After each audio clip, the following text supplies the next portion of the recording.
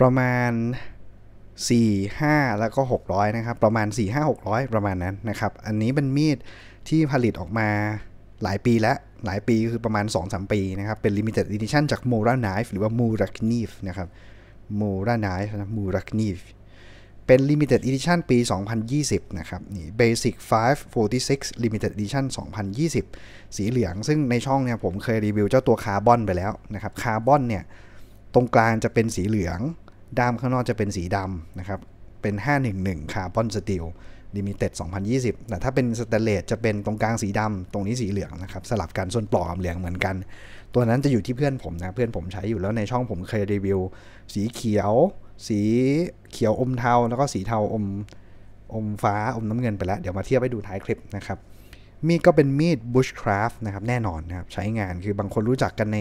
นามมีดโมรานะครับ Morakniv ก็เป็นมีดที่ราคาไม่ได้สูงมากนะครับ โดย carbon steel เนี่ย300ปลายปลายๆ400กลางกลางๆนะครับ ส่วน stainless steel ก็จะประมาณ 400กลางกลางๆถึง 500 บางร้านก็อาจจะ 600 นะครับ ตัวนี้ผมซื้อจาก t u n a m i FAC นะพี่เขาสั่งมาเยอะ จริง ๆ ตัวนี้มันไม่มีไปแล้ว นะครับมัน discontinue มันเลิกผลิตไปแล้ว แล้วก็หมดสต็อกไปแล้ว แต่พี่เขาไปหามาจากไหนไม่รู้นะ ผมยังไม่มีก็เลยซื้อนะครับพอดีบ่นอยู่วันก่อนว่าเอออยากจะได้ปี 2020 ด้วยนะครับ วัดหัวท้ายให้ดูเลยนะครับ หัวท้ายอะแบบนี้ก็ได้นะ หัวท้ายเมื่อลองวัดทั้งซองเลยนะครับ จะอยู่ที่ประมาณ 8 นิ้วครึ่งนะครับ 22เซนติเมตรนะครับโดยประมาณ แล้วก็ตัวมีดจะมาในซองฝักปลอกนะครับที่เป็นพลาสติกแข็งประเภท ABS พลาสติกหรือว่าเป็น High Impact พลาสติกนะ Impact พลาสติกก็คือพลาสติกที่ทนแรงกระแทกสูงนะครับ ความรู้สึก feeling คล้ายๆทัพเปอร์แวร์นะครับแข็งๆ อย่างนั้นนะครับซองก็จะเป็นสีเหลือง limited โดยรุ่นธรรมดาของเขาเนี่ยจะเป็นสีถ้าสแตนเลสก็จะเป็นด้ามสีฟ้าซองสีดำนะครับ แต่พอเป็น limited ก็จะเป็นสีเหลืองหมดเลยอะไรแบบเนี้ยแท็กด้านหลังก็จะบอกนะครับ Basic 546 Limited Edition 2020 โอเคนะครับผม ตัวซองจะมีสัญลักษณ์โล่ตรงนี้ เดี๋ยวเอาไว้ทำอะไรเดี๋ยวมาโชว์ให้ดู ส่วนตรงนี้ก็จะเป็นสันแข็งๆนะครับ ป้องกันซองยุบปลายซองมีรูระบายน้ำความชื้นด้วยเมื่อใช้มีด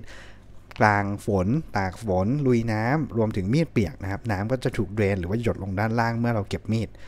นะครับผม ส่วนด้านหลังก็จะเป็นช่องร้อยเข็มขัดนะครับ เป็นเขี้ยวล็อกร้อยกับเข็มขัด ต่างๆ หรือว่าเหน็บกับกางเกงก็ได้นะครับตรงนี้ก็จะมีตัวล็อกอีกชั้นหนึ่งส่วนด้านบนตรงนี้จะมีลายกันลื่นนะครับ เราจับมีดก็คือจับมีดลักษณะนี้ แล้วก็ดันนะครับ ออกแรงดันนิดนึง มีดก็จะออกมาจากซอง ซึ่งระบบล็อกของเขาจะมีตุ่มตรงนี้นะครับ ถ้าลองสังเกตดู 2 ฝั่งที่ผนังด้านในทำหน้าที่ล็อกเข้ากับตัวหลุมบริเวณด้ามตรงนี้นะครับ เมื่อเราดันลงไปลักษณะนี้นะครับ มันก็จะถูกล็อกอยู่ในตำแหน่งที่เหมาะนะครับ อาจจะมีโยกๆบ้าง แต่ว่าก็ไม่ได้เป็นปัญหานะครับ ดันเป็นมีดบุชคราฟก็คือเป็นมีดที่ใช้งานในค่ายในแคมป์นั่นเองนะครับ ก็ทำให้มีดเขาก็จะมีความคล่องตัวในการใช้งานประมาณหนึ่งนะครับ ส่วนของมีดเนี่ยเมื่อลองวัดดูนะครับ หัวท้ายเลยนะครับ เฉพาะตัวมีดนะไม่รวมซองนะครับ ก็อยู่ที่ราวๆประมาณ 8 นิ้วนะครับ22อ่า20.5เซนติเมตรใบมีดอยู่ที่ 4 นิ้วอ่าไม่ใช่ 4 นิ้ว 3.5 นิ้วนะครับ ประมาณ9เซนติเมตร แล้วก็ด้ามของมีดเนี่ยถ้าวัดที่ด้ามอย่างเดียวประมาณ 4.5 นิ้วหรือประมาณ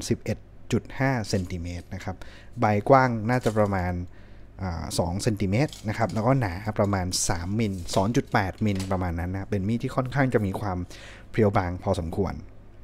ส่วนของใบและก็ส่วนของด้ามจะมีความสำคัญ แล้วก็จะมีลักษณะการออกแบบที่ ออกแบบมาให้จับได้ถนัดนะครับ ไม่ว่าจะเป็นคนที่มือใหญ่หรือมือเล็กก็ตาม มือเด็ก มือผู้หญิงก็จับได้ โดยบริเวณด้านหน้าจะมี finger guard นะครับป้องกันมือหรือนิ้วถลำไปโดนคมนะครับ ก็ค่อนข้างที่จะชัดเจนดี ส่วนด้านล่างก็จะมี finger guard ด้านท้ายเหมือนกันนะครับทำให้จับแล้วลักษณะตัวด้ามก็อยู่ในมือที่ค่อนข้างกระชับวัสดุด้ามเป็นวัสดุเดียวกับที่ใช้ทำปลอกนะครับ โดยจะมีการใช้สี 2 สี สแตนเลสเวอร์ชันด้านนอกจะเป็นสีเหลือง นะครับหรือสีอะไรตามปีนะครับแล้วด้านในเป็นสีดำถ้าเป็นคาร์บอนเวอร์ชันด้านในจะเป็นสีตามปี แล้วด้านนอกจะเป็นสีดำสังเกตแค่นี้เลยนะครับ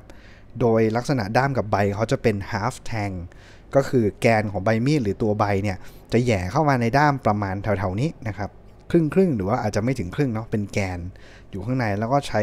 พลาสติกหล่อทับ หรือว่าหลอมทับอีกทีนะครับทำให้มันมีความแน่นหนาแน่นนะครับ จับกระชับแล้วก็น้ำหนักไม่ได้หมักมากด้วยนะครับ แต่เขาใช้งานได้ดี ผมเห็นช่อง DBK อะ Dutch Bushcraft นะครับเอาไป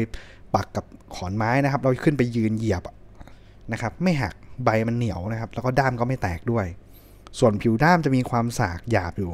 ประมาณหนึ่งนะครับ คล้ายๆ ผิวส้มเลยทำให้จับเราไม่ลื่นมือ ด้านข้างก็จะมีชื่อมูราไนฟ์ร่องพวกนี้เป็นร่องกันลื่นนะครับแล้วเป็นร่องที่ใช้ระบายเหงื่อกันน้ำด้วยเวลาเราจับเนี่ยน้ำมันจะถูกเดนลงไปในร่องนะครับ แล้วก็ทำให้ไม่เปียกอยู่บริเวณผิวด้าม ส่วนส้นก็จะมีเป็นแป้นแบนๆเอาไว้กระแทกได้นิดหน่อยนะครับ ไม่ใช่เอาไว้ใช้งานอะไรขนาดแบบทุบอะไรแข็งๆขนาดนั้น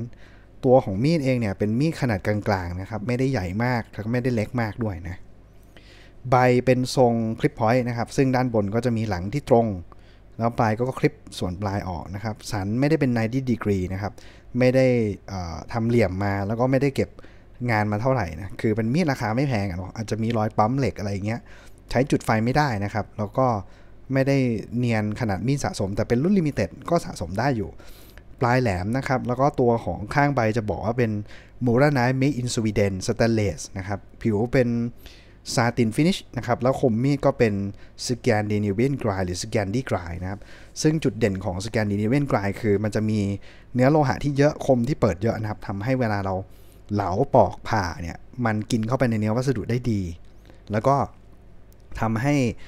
ตัวของคมมีดเนี่ยคงความคมได้นานนะคมมันทนนั่นเองนะครับ แม้ว่าใบจะบานแต่คมมันทน สังเกตดูว่าตรงบริเวณคมเนี่ยเขาจะมาแบบนี้แล้วก็ลงไปที่คมเลยนะครับ ไม่เหมือนกับ มีดพับทั่วไปที่เราจะสังเกตเห็นว่าเขาจะมีคมที่2อะเดี๋ยวผมจะลองอธิบายให้ฟังว่าคมที่ 2 เป็นยังไง พี่ๆลองสังเกตดูนะครับว่า มันมาที่ด้านข้างแล้วมันไปที่คมเลยนะครับ เห็นไหม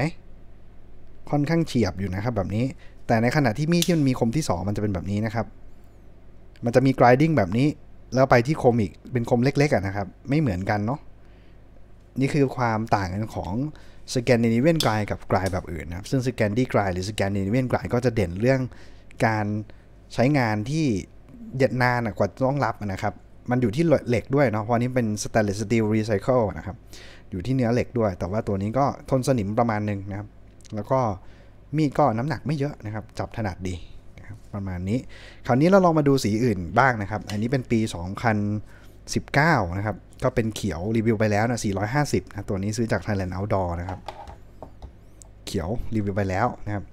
2020 คือสีเหลือง 2021 อันนี้เป็นสีเกรย์กรีนเนาะสีเทาเขียวนะครับ ผมจะเรียงปีตามนี้เลยนะครับ 19 20 21 นะครับ 2022 นะครับสี2022 เนาะ รุ่นเดียวกันเลยแต่คนละสีนะครับสองสีนี้คล้าย ๆกัน แล้วก็